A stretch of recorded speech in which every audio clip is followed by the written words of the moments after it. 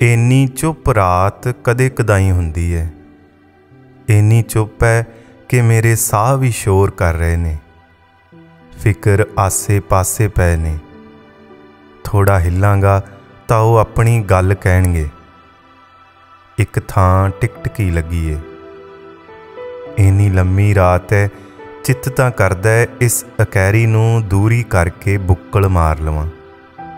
ਸੋਚਦਾ ਇਹ ਉਦੋਂ ਦੂਰੀ ਹੁੰਦੀ ਹੋਣੀ ਹੈ ਜਦੋਂ ਰਾਤਾਂ ਛੋਟੀਆਂ ਹੁੰਦੀਆਂ ਨੇ।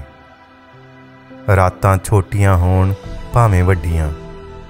ਕੀ ਫ਼ਰਕ ਹੈ ਇਹਨਾਂ ਨੂੰ?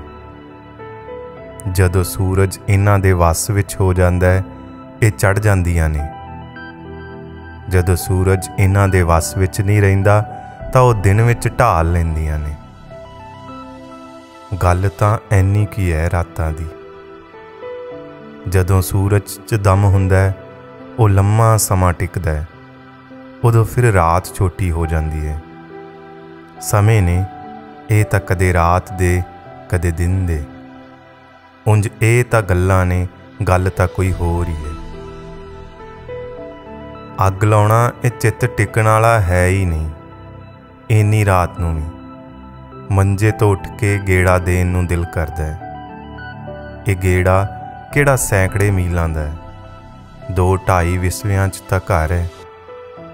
ਵੱਧ ਤੋਂ ਵੱਧ 8-10 ਕਦਮ। ਸੋਚਦਾ, ਧਰਤੀ ਨੂੰ ਤਾਂ ਸੌ ਜਾਣ ਦੇ ਮਨਾ। ਜਦ ਪੈਰ ਰੱਖੂ, ਇਹਦੇ ਤੇ ਦਾਬ ਆਊ। ਇੱਕ ਵਾਰ ਇਹਦੀ ਨੀਂਦ ਖੁੱਲ ਗਈ, ਮੁੜ ਕੇ ਨਹੀਂ ਆਉਣੀ ਸਵੇਰ ਤੱਕ। ਉਦੋਂ ਮੈਂ 3-4 ਕੁਵਰਿਆਂ ਦਾ ਹੋਣਾ ਜਦ ਦਾਦੀ ਨੂੰ ਪੁੱਛਿਆ ਸੀ ਇਹ ਧਰਤੀ ਕਦੋਂ ਸੌਂਦੀ ਹੈ ਦਾਦੀ ਨੇ ਬੜੇ ਸਹਿਜ ਭਾਅ ਨਾਲ ਆਖਿਆ, ਧਰਤੀ ਕੋਲੇ ਸੌਣ ਦੀ ਵੇਲ ਕਿੱਥੇ ਹੈ ਭਲਾ? ਦਾਦੀ ਦੀ ਗੱਲ, ਧਰਤੀ ਕੋਲੇ ਸੌਣ ਦੀ ਵੇਲ ਕਿੱਥੇ ਹੈ ਭਲਾ? ਇਹ ਗੱਲ ਸੋਚਣ ਦੀ ਵੇਲ ਕਿਦੇ ਕੋਲ ਹੈ ਭਲਾ? ਇਹ ਤਾਂ ਅੱਜ ਪਤਾ ਨਹੀਂ ਕਿਵੇਂ 32 33 ਸਾਲਾਂ ਬਾਅਦ ਯਾਦ ਆਈ ਇਹ ਗੱਲ। ਕਿੰਨੀ ਲੰਮੀ ਰਾਤ ਹੈ ਨਾ ਇੱਧਰ ਸਿਰ ਹੈ ਨਾ ਉੱਧਰ